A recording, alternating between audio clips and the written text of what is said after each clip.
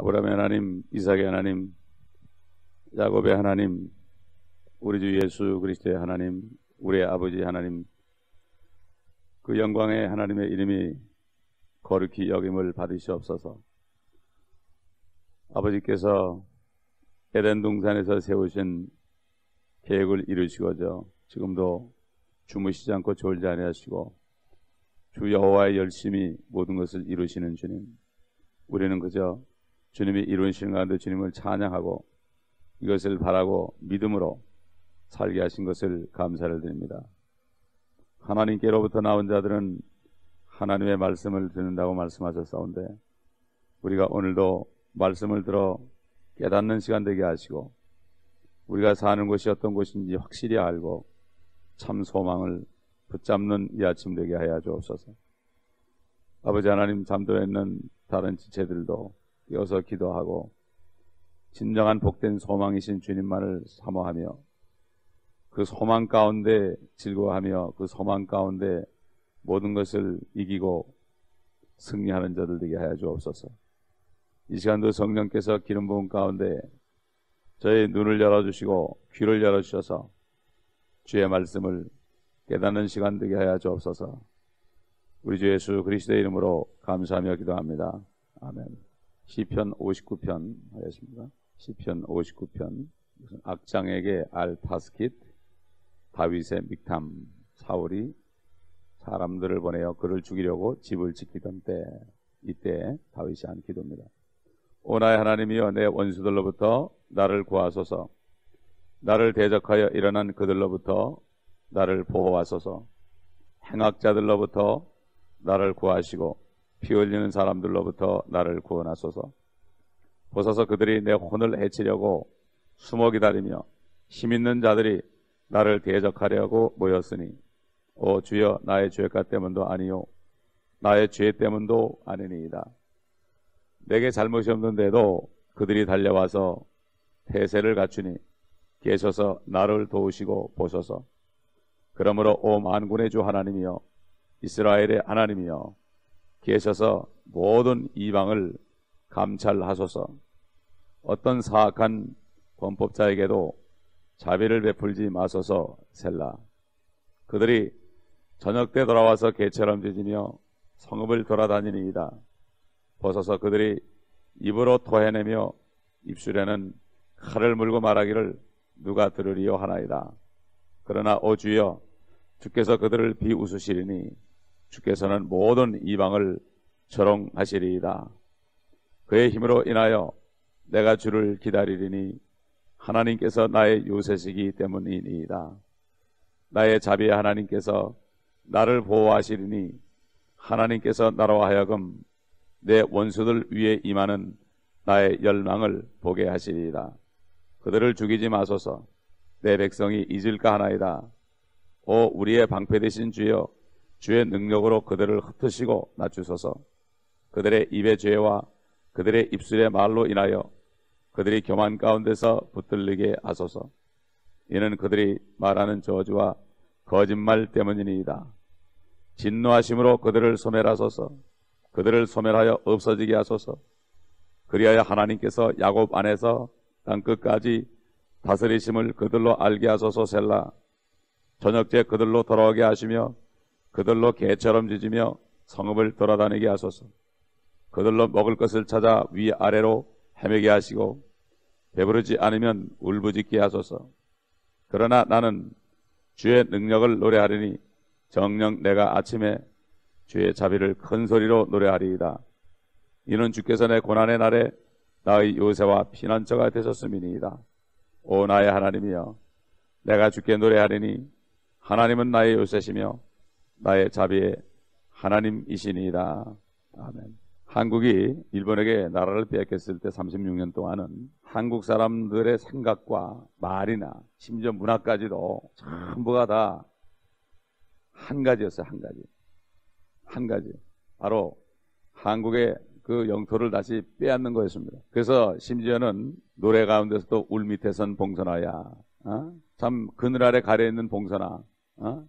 거기에 대해서 참 가련한 것을 노래했고 또 노란 아름다운 꽃이 개나리인데 그 개나리를 가지고 일본 사람들을 개처럼 생각해서 개나리, 개나리 그랬습니다. 여기 지금 다윗은 자신이 사울의 칼에 쫓겨 다니던 그러면서 그가 자신을 위해서 먼저 기도했습니다. 나를 피 흘리는 사람들로부터 구원하소서. 그들이 내 혼을 해치려고 숨어 기다리며 힘 있는 자들이 나를 대적하려고 모였으니 오 주여 나의 죄가 때문도 아니요 나의 죄 때문도 아니니이다. 이렇게 자기 자신을 위해서 기도했습니다. 또 나는 잘못이 없는데도 그들이 달려와서 대세를 갖추니 나를 도우시고 보소서 어? 이렇게 기도했는데 갑자기 5절에 가면은 그러므로 오 만군의 주 하나님이여 이스라엘의 하나님이여 깨셔서 모든 이방을 감찰하소서 지금 사울 얘기하다가 갑자기 이방을 감찰하소서 the Gentiles 이방 사람들 이방은 이방이죠 요즘에 아, 그리스도인들 사이에서도 이방 그러면은 예수 안 믿는 게 이방이다 이렇게 영적으로 푼다고 사람들이 학자들이 많이 그래 이방은 이방이에요 에? 성경에 나오는 이방 특별히 구약에 나오는 이방은 어? 이방은 바로 이것은 유대인이 아닌 모든 다른 민족을 얘기한다 이거예요. 예? 그렇기 때문에 그들이 개처럼 짖으면서 성배 돌아다닌다. 개처럼 짖으면서 2차전 때도 그 독일 군들이 정말 세파트를 앞세워가지고요. 그 숨어있는 이스라엘 사람 유대인들을 다 찾아냈습니다. 어? 정말 개처럼 찾아다니면서 산길자를 찾아, 찾아 있었고 심지어는 화장실 밑에 어? 오물통 밑에 들어가 있는 사람도 다 끄집어내고요. 굉장했습니다. 예? 성령께서는 다윗을 통해서 이스라엘 민족이 당할 고난을 미리 보시고 물론 그들이 하나님께 잘못돼서 그렇게 고통을 받지만 결국 하나님은 그들을 구원하시는 게 목적이지요. 잠시 동안 어, 그들이 하나님을 떠나고 어, 메시아를 죽이고 이것을 주님이 아셨죠. 그렇기 때문에 결과적으로는 하나님을 구하는 하나님께서 그들을 구하는 게 목적이기 때문에 다윗을 통해서 이렇게 기도를 시켰어요. 그러니까 이 기도 때문에 결국 2차전 때도 어? 아, 참 소수가 살아남아서 지금 인구가 어? 국내에 한 500만, 해외에 한 1,300만, 거의 1,800만 명이 지금 살아 있습니다. 예? 살아 있어요. 그렇기 때문에 지금 아, 여기 알 다섯 기 이렇게 나오죠. 악장에게 알 다섯 기 지난번에 얘기했죠. 이건 don't destroy 멸하지 말아라 하는 뜻이라 그랬죠. 그 다음에 닉탐이라는 것은 황금의 비밀이라는 뜻이에요. 예? 이게 그렇기 때문에 아, 주님께서는 에덴 동산에서 사람이 범죄했을 때 그 원수 사탄에게 여인의 씨가 여인의 후손이 네 머리를 부숴버릴 것이다. 결국 그때부터 복음이 선포돼서 요한계시록 마지막까지가 전부 한 가지가 있다면 회복이에요, 회복. 예? 죄로부터, 저주로부터, 사망으로부터, 결국 그 죄와 저주와 사망을 가져온 마귀, 예? 마귀를 멸하는 것이 바로 하나님의 아들이 이 땅에 나타난 목적이다. 이게 하나님의 뜻이에요. 그렇기 때문에 아, 주님께서 오셨을 때 너희는 이렇게 기도하라. 아버지의 나라가 임하옵시며 왕국이 임하옵시며 아버지의 뜻이 하늘에서와 같이 이 땅에 이루어지이다. 이렇게 기도하죠. 지금 다윗이 잘못한 것이 없는데 고통을 받죠. 진짜 참 그리스도인들 고통받습니다. 여기 다윗이 어떤 고통을 받았을까? 나는 죄가 없는데 왜 그러느냐? 다윗의 후손으로 오신 주님께서 당하신 고통을 보면 다윗의 심정을 이해할 거예요. 왜 주님께서 이게 고통을 또 받았느냐? 주님께서는 유대인들로부터 어떤 모욕을 받았는가 하면 너 마귀 들렸다. 하나님이었어요. 세상에 요한복음 8장에 보게 되면은 요한복음 8장에 보게 되면은 주님이 이렇게 얘기했죠. 45절부터 보면 내가 진리를 말함으로 너희가 나를 믿지 아니하는도다. 너희 중에 누가 나를 죄에 대하여 실책하겠느냐? 그러나 내가 진리를 말하는데 어찌하여 너희는 나를 믿지 아니하느냐? 하나님께로부터 나온 사람은 하나님의 말씀들을 듣느니라. 너희는 하나님의 말씀들을 듣지 아니하나니 이는 너희가 하나님으로부터 나오지 않음이라고 하시니라. 그때 유대인들이 대답하여 주께 말하기를 네가 사마리아인이며 마귀 들렸다고 한 우리가 올바로 말한 것이 아니냐고 하니 예수께서 대답하시기를 나는 마귀 들린 것이 아니라 다만 내 아버지를 영원롭게 하고 있을 뿐인데 너희가 나를 멸시하고 있도다. 나는 내 자신의 영광을 구하지 아니하나 그것을 구하시고 판단하시는 이가 계시니라. 진실로 진실로 내가 너에게 말하노니 누구든지 내 말을 지키면 그는 결코 죽음을 보지 아니하리라고 하시니라. 그러므로 유대인들이 주께 말하기를 이제 우리는 네가 마귀 들린 것을 알게 되었노라. 아브라함도 죽었고 또 선지자들도 죽었는데 네가 말하기를 누구든지 내 말을 지키면 그는 결코 죽음을 보지 아니하리라고 하였으니 네가 우리 조상 아브라함보다 더 위대하냐? 그는 죽었고 또한 선지자들도 죽었느니라. 너는 네 자신을 누구라고 생각하느냐고 하더라. 요즘 보세요. 영생 받는다는 사람들이 미쳤다고 그러죠. 무슨 썩어질 영생이냐? 당장 먹고 살기 바쁜데. 에? 예? 그렇기 때문에 요즘도 복음을 전하면 핍박을 받습니다. 아, 예수 믿으면 영생 받습니다. 이 사람들한테는 귀에 이 안 들리는 거예요. 당장 먹고 살기 바쁜데 무슨 영생이냐고. 어? 우리 주님이 복음을 전하다가 이렇게 미쳤다는 얘기를 들었어요. 어? 다윗도 마찬가지야, 다윗도. 다윗도, 어? 다윗도 주님하고 똑같은 지경에 있는 거예요. 그러니까 결국 아, 죄를 짓지 않고 그는 끝까지 사울을 위해서 사실은 사울을 피해 다녔지 절대로 공격하지 않았습니다. 하나님의 한번 기름 부음 받은 건 하나님의 소관이기 때문에 하나님의 소관이기 때문에 절대 그러지 않았어요. 하나님께서 결국은 원수를 갚아줬죠. 예? 원수 갚는 것은 우리에게 있지 않죠. 하나님께 있죠. 이게 성도 가는데 마찬가지예요. 우리 세상 내에서 마찬가지예요. 우리가 원수 갚으려 그러면은 그건 월권행이에요. 원수 갚는 건 하나님께 달렸어요. 그죠? 우리는 그들에서 기도하고 어? 그저 진리만 전하면 돼요. 내가 진리를 말하는데 너는 왜 그러느냐? 이 정도지. 예? 너희가 하나님인 나를 그래? 그러면서 당장 천벌 받으라고 말이지. 그러질 않았어요.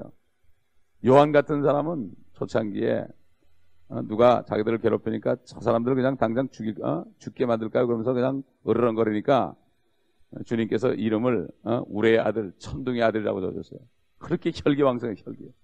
그렇게 혈기왕성한 사람이 반모성 가가지고 기름감 안에 있다가 나와서 반모성 가가지고 완전히 죽어가지고 자신이 없어지니까 성령이 임해가지고 그를 번쩍 들어다가 환란 때 갖다 놓고 성경을 기록하게 했습니다.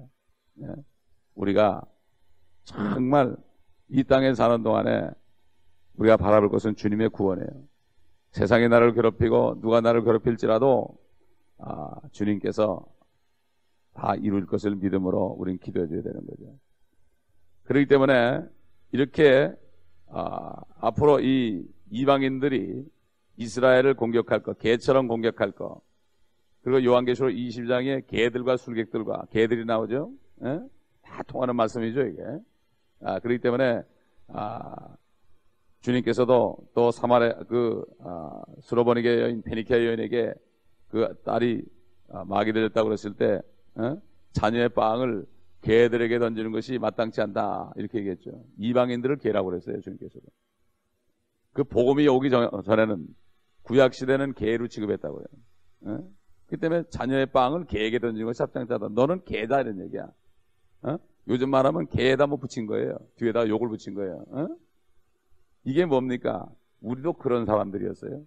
그런 사람들이 구원받았으니 우리가 복음 전하면서 그런 사람들에게 욕을 얻어먹은 건 당연한 거 아니겠어요? 무릇 주 안에서 경건하게 살고 하는, 살고자 하는 자들은 핍박을 받으리라. 요즘에 복음 전하면요. 핍박 안 받을 수 없어요. 바빠 죽겠는데 자꾸 그러면 말이죠. 막 짜증내고 욕한다고요. 미쳤다고 그런다고요. 에? 예? 미쳐도 보통 미쳤다. 제가 칼럼을 써가지고 1 플러스 1은 2라는 신비에 대해서 써가지고 중화일보 보냈더니 거기 어떤 부장이 그러더래. 어? 어, 참 예수를 믿어도 미쳤다고 그러더래.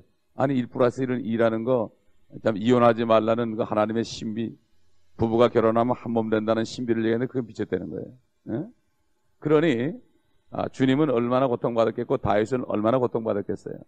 우리가 가만히 있으면 핍박 안 받아요. 그러나 입을 열고 복음을 전하면 핍박받게 돼 있어요.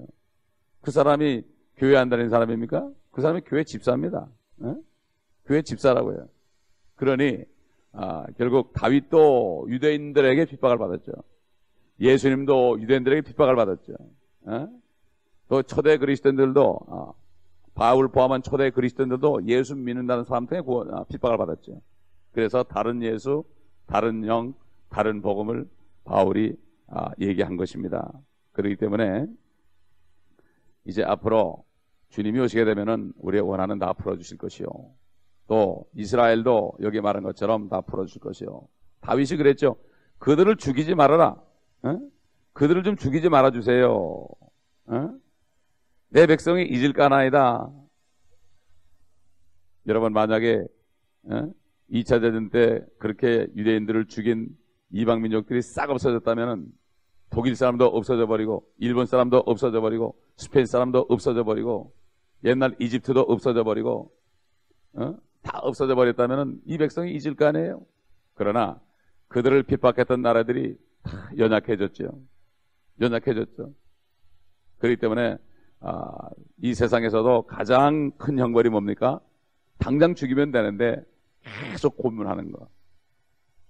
이게 바로 큰 고민. 그러니까 하나님께서는 이렇게 갚아주시는 거죠. 그렇기 때문에 아, 6월서도 보게 되면은 아, 이 이방 민족들이 어떻게 합니까? 6월서 보게 되면은 아, 3장에 보게 되면은 이 장면이 나와요. 어떻게 이방인들이 아, 할 것인가? 3장 9절 보면 너희는 이것을 이방인들 가운데 선포하라. 전쟁을 예비하며 용사들을 깨우고 모든 전사들로 가까이 오게 하며 그들로 올라오게 하라. 너희 보습을 쳐서 칼을 만들고 너희 낫을 쳐서 창을 만들라. 약한 자로 나는 강하다라고 말하게 하라. 너희 모든 이방들아 모여서 오라. 다 함께 주 위에 모이라. 오 주여 주의 용사들로 그것으로 내려오게 하소서. 이방으로 깨어서 여호사박 골짜기로 올라오게 하라. 이는 내가 거기에 앉아서 주의 모든 이방을 다 심판할 것이미로다. 너희는 낫을 대라. 이는 곡식이 익었음이라. 너희는 와서 밟으라. 이는 포도즙들이 가득 차고 복들이 넘쳐남이라. 그들의 죄악이 크기 때문이라. 결단의 골짜기에 많은 무리들이 있으니 이는 주의 날이 결단의 골짜기에 가까움이라. 해와 달이 어두워지고 별들이 그들의 빛을 거두리라. 또 주께서 시온에서 표효하시고 예루살렘에서 그의 음성을 내시리라. 또 하늘들과 땅이 진동하리라. 그러나 주는 그의 백성의 소망과 이스라엘 자손의 힘이 되시리라. 요한계시록에 있는 거예요. 아마겟돈 아닙니다. 그건 다 다윗을 통해서 미리 다 기도해 놓은 거예요. 이게 중보기도입니다. 중보기도. 네? 오늘날도 성령 안에 있는 사람은요, 내 기도 시작하면 성령이 사로잡아 가지고 내가 알지도 못한 기도도 하게 되고 중보하게 되는 것입니다. 이게 하나님의 사람이에요. 네? 하나님의 사람이에요. 그렇기 때문에 기도하는 사람들이 있으면 하나님께서 지켜주신단 말이에요. 그래도 이 캘리포니아는 아직도 기도하는 사람이 많은 것 같아요. 아직까지 재앙이 오지 않는 거 보면 말이죠. 네? 할리우드 같은 소돔 같은 곳이 있는데도 그런데도 어? 우리는 기도하는 사람들이 있기 때문에 안전한 것입니다. 그, 그 상은 바로 주님께서 직접 주시잖아요. 예? 그저 내 것만 찾아다니는 사람은 상을 못 받죠. 예? 그래서 기도하는 사람이 상을 얻는 거예요. 골방에 들어가서 문을 닫고 기도하라. 내가 나중에 갚아주려고 그랬어요. 뭐 기도하는데 뭐, 뭘 했다고 갚아줘요. 뭐, 전도를 한 것도 아니고, 어? 헌금을 많이 낸 것도 아니고, 교회 건축한 것도 아닌데, 기도하는데 왜 상을 주냐고요. 예? 기도를 통해서 천지가 진동하거든요. 어? 이것을 모르는 사람은 기도를 안 하는 거예요. 예? 성령이 없으면 기도할 수가 없죠. 재미가 없죠. 그렇기 때문에 하나님의 자녀도 지금까지 어려움 가운데 집어넣어서 거기서 주님을 붙들고 기도함으로 다윗처럼 이렇게 멋진 기도를 하게 되는 거예요. 예? 멋진 기도를 하게 되는 거예요. 우리 주님이 공중에 오시는 날까지 예? 우리는 결국은 그렇게 기도해야 되는 거예요. 마지막으로 엊그저께 제가 척스미스 목사님이 방송을 통해서 상담하는 내용을 들었어요. 저 뉴욕에 있는 어떤 성도가 전화를 걸어가지고 아 성경에 미국이 어디 있습니까? 아 미국이 큰 바벨론 아닙니까? 뭐 이렇게 묻는 사람이 있더라고요. 그러니까 미국은 성경에 나오질 않는다. 성경에 나오질 않는 것이고 아, 결국은 우리가 휴거되고 나면 미국이 또 그렇게 될지도 모른다. 옳은 얘기를 하더라고요. 예? 그리고 하나님께서 미국을 이스라엘 민족들을 지켜주기 위해서 지금까지 쓰고 있다. 요즘에 자꾸 양보하니까 양보하니까 하나님이 자꾸 재앙으로 쳐서 leave them alone 그들을 가만둬라 너희들이 왜 간섭하느냐 이런 하나님의 경고인 걸로 안다. 참 역시 그 목사님이 바로 깨달았더라고요. 예? 이스라엘에 대해서 바로 아는 사람은 성경을 바로 깨달은 사람이죠. 왜? 성경 전체는 성경의 하나님의 시간은 이방인의 시간이 아니라 이스라엘의 시간이에요. 그렇기 때문에 다니엘이 예언한 71에 71에는 70년에 7번 지나는 거니까 490년인데 483년 딱 지났을 때 기름 부은 자 예수님이 끊어졌죠. 그때부터 하나님은 시간 시계를 딱 멈췄어요. 그리고 그동안 2000년 동안 이방인의 때가 온 거예요. 하나님의 시간이 멈췄어요. 그 시간 동안에 우리가 구원받은 거예요. 환란이 딱 시작하면 7년 딱 하게 되면 끝나는 거예요. 예? 그렇기 때문에 우리는 이 하나님의 시간표를 바로 알아야 돼요. 하나님의 시간표 안에서 내가 어떻게 어디에 있고 내가 어떤 축복을 받았고 내가 어떻게 살아야 될 것인가 이것을 아는 사람은 바른 기도를 하는 거예요. 예? 우리가 시편을 벌써 59편을 지금 다 했습니다. 이 시편을 계속 하면서 우리는 성령께서 어떻게 역사하시느냐 또 사도행전이 이번 주에 끝나는데 사도행전은 끝나면서 성령께서 어떻게 교회를 건축하 고, 교회가 어떻게 역사 교회가 어떤 일을 하겠는가 이것을 깨달아야 되는 거예요 이것을. 이거 하고도 못 깨닫는 사람은 눈이 없고 귀가 없는 사람이에요. 예? 그러므로 오늘도 우리가 주님 앞에 감사드리고 조만간 이제 주님의 시간이 다시 시작될 때가 옵니다. 그때가 멀지 않았습니다. 우리는 올바른 기도를 해야 됩니다. 성령 안에 기도하라고 했어요. 성령 안에 내 입으로 하는 게 아닙니다. 예? 그렇기 때문에 아, 우리는 오늘도 이 말씀 가운데 다윗의 위대한 기도가 하나님의 말씀으로 기록됐다는 것, 성령께서 하시다는 얘기. 우리도 이 땅에 사는 동안에 내가 기도하고 내가 행하는 많은 것들이 성령 안에서 함으로 하늘에 기록되는 이런 사람이 되지. 나는 너를 도무지 모른다. 내가 이렇게 능력을 행하지 않았나이까? 주의 이름으로 귀신을 쫓아내지 않았나이까? 나는 너를 도무지 모른다. 내게서 떠나라. 어? 얼마나 기가 막히겠습니까? 어? 그러므로 말씀 안에서 우리가 항하지 않으면 다 소용이 없는 거예요. 기도하겠습니다. 아버지 하나님, 오늘도 이 말씀을 통하여 정말 다윗이 얼마나 성령 안에서 행했는지 또 보여주셨습니다.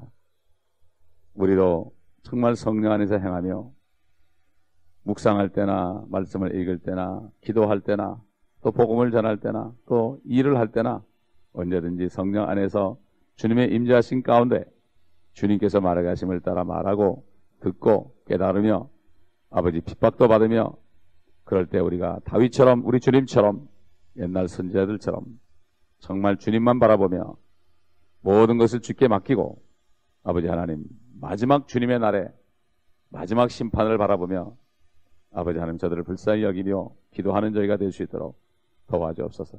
이 교회 아직까지도 주의 뜻을 깨닫지 못한 사람들이 있다면 깨달음을 주시고 저들의 눈을 여시고 귀를 열어주옵소서.